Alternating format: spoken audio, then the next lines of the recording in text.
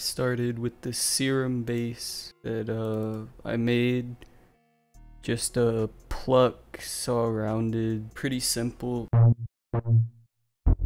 And uh, just got some diode distortion filter. What Crystal Castles always does, they use a plucky sub and they do these octaves. So every offbeat is an octave up, and that sounds like this.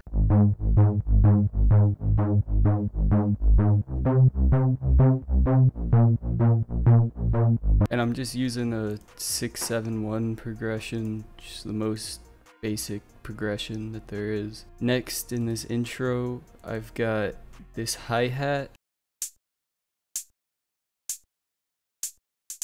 And it sounds kind of weird and sporadic. Once I play it with this 4 on the floor kick, it should make a little more sense.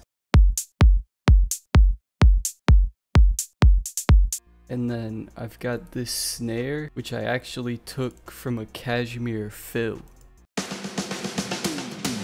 just really like the tone of it, so I just took it, chopped it, put a little fade on the end, and then I got a snare. And all the drums in this beginning part together.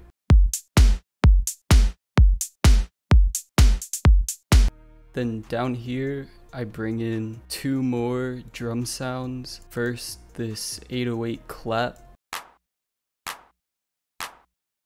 And this shaker, which I have the velocities rolling up. That sounds like this. And all of those playing together sounds like this.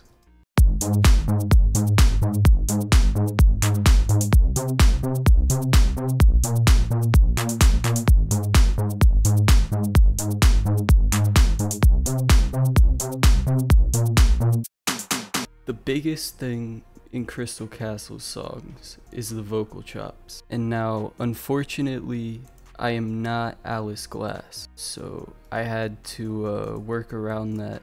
So I started with this vocal. Somewhere I can reach cause it's far away. Somewhere I can be, wait for better days. And it does not matter if it's good or not, cause you're gonna chop it anyway. So then I put it in Melodyne, I put it in octave up, and I formant shifted it up to make it sound a little more female, and that sounds like this. Somewhere I can reach cause it's far away. It's very rough, so I exported it out and pitched it up two semitones, and I pitched the whole project up two semitones, and the vocal with no processing sounds like this. Somewhere I can reach cause it's far away. So I added a parametric EQ, just taking out bass and high. CLA vocals on the Moody preset. I just turned down the reverb and delay, turned up the widener a bit. Another EQ, just making it even smaller in the frequency range.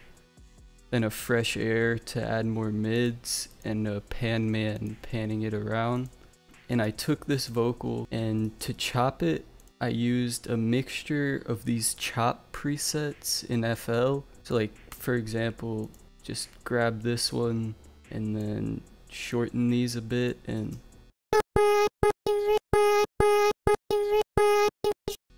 and then I'll use these and rearrange them. Through that process I came up with this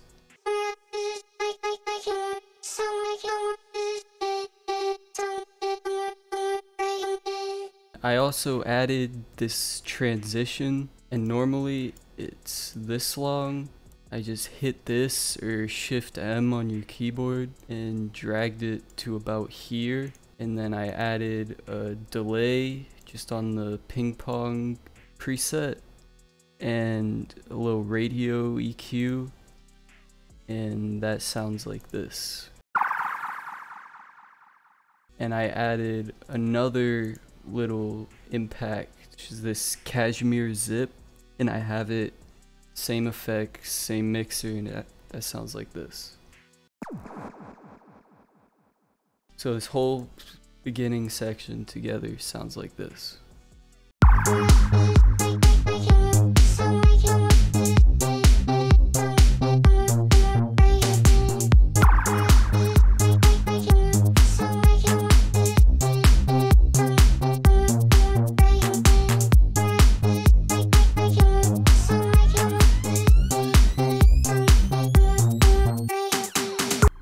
Now for the drop. The only two things that I'm adding in the drop are this serum, which is just a analog sine and another analog sine. This one's an octave up and FM'd. It just gives it more harmonics. So without it and with it, then for even more harmonics, I added this downsample distortion and I moved the drive until it was like in key with what I'm playing. I've got a little bit of portamento, little bit of delay. For this pattern, you just want it to be very simple and repetitive. I've got a little sprinkle here where it changes in the second half, but in the beginning it's just a very simple two or three note melody and it sounds like this.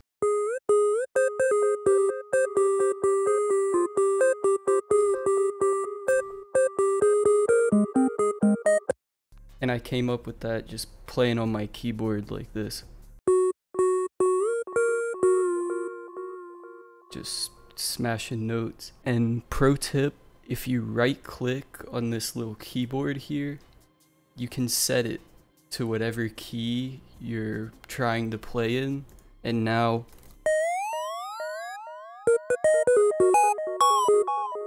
it's impossible to play out of key. You can still play wrong notes, but you can't play out a key.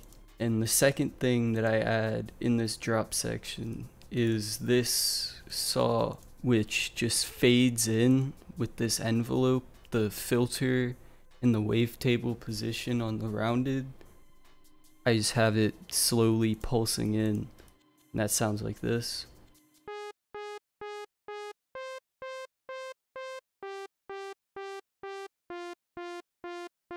And the biggest thing with Crystal Castles is you don't want to use any crazy sounds or do anything super complicated. You just want to keep it nice and dry and simple. I have all the melodies routed to a bus with kickstart so that they're all sidechained to the kick.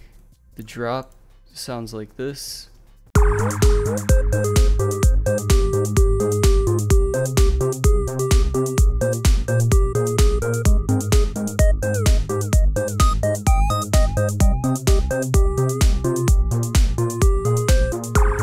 Also, I forgot to mention, this hi-hat here, which in the beginning is playing this sporadic pattern, changes to play this, the same pattern as the shaker in the intro.